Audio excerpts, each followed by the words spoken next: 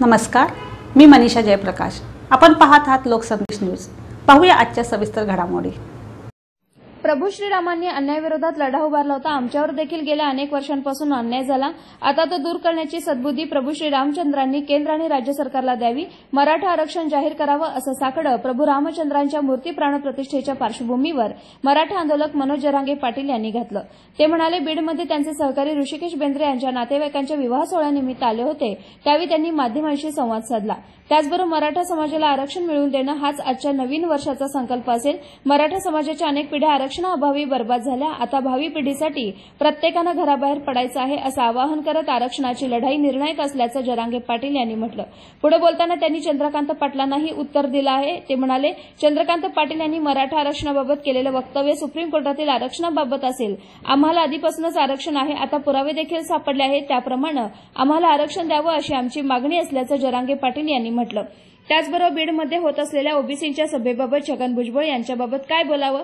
ते कामातून गेलेले आहेत. लोकशाही ज्याला त्याला सभा घ्यायचा अधिकार आहे असं भुजबळांच्या होणाऱ्या सभेवरून जरांगे पाटील यांनी आपलं वक्तव्य केलं आहे.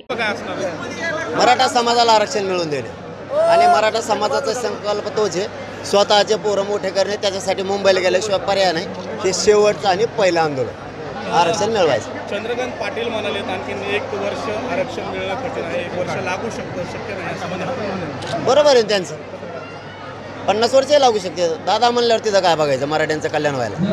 आणि आम्ही ते आरक्षण मागितलंच नाही. आमच्या चोपन्न लाख नोंदी सापडल्यात महाराष्ट्रातला मराठा आणि कुणबी एकच आहे. हे आता सिद्ध झालं आहे महाजन साहेबांनी सांगितलं होतं. आम्ही चार दिवस वेळ दिलता. त्यावेळेस ते म्हणले चार दिवसात कायदा पारित होणार नाही. तुमच्या मागणीप्रमाणे जर तुम्हाला आरक्षण द्यायचं असलं तर त्याला आधार लागत पुरावे लागत चोपन्न लाख पुरावे मिळालेत. मराठा आणि कुणबी एक असलेल्याचा आधार घ्यायचा आणि कायदा पारित करायचा दोन घंट्यात होऊ शकतो. करायचा असला तर. नसेल करायचं तर मुंबईत आम्ही मराठी येणार आणि आरक्षण घेऊनच वापस येणार. मराठे आता घरी थांबणार नाहीत. ते सुप्रीम कोर्टाच्या आरक्षणाविषयी चंद्रकांत दादा बोलले असतील ते आरक्षणाची मागणीच मराठींची नाही कारण ते टिकल का नाही टिकल हा संभ्रम आहे. कारण इंद्र शहानी जजमेंट सांगतं की पन्नास टक्क्याच्या वर गेल्याच्यानंतर टिकणार नाही. आम्ही ती मागणी केलीच नाही. पन्नास टक्क्याच्या आतमध्ये ओबीसी आरक्षणात मराठा आहे. आम्ही इथं असताना आमची जमीन बीडमध्ये आहे उदाहरणार्थ. आम्हाला दोनशे किलोमीटर कशाला देत आहे? आम्ही इथं आहेत आम्हाला इथंच पाहिजे ते आम्ही घेतोय का नाही विचारनंतर बघा. चलो धन्यवाद. अयोध्येला तुम्ही जाणार आहेत राम मंदिर राम मंदिर. हे बघा तो भारतीय जनतेचा आनंदाचा दिवस. तो दिवस.